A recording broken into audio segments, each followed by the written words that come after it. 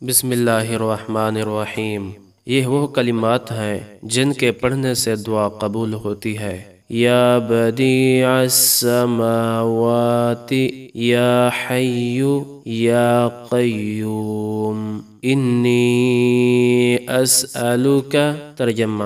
اے آسمانوں کو پیدا کرنے والے، اے زندہ جاوید، اے ساری کائنات کا بندوبست کرنے والے، بے شک میں تجھ سے سوال کرتا ہوں۔ پیارے دوستو، آپ نے ان کلمات کو کثرت سے پڑھنا ہے۔ ہو سکے تو آگے دوستوں کے ساتھ بھی شیئر کیجیے گا۔ ویڈیو پسند آئے تو ویڈیو کو لائک کر دیں، چینل پہ نیو ہیں تو چینل کو سبسکرائب کر دیں۔ جزاکم اللہ خیر۔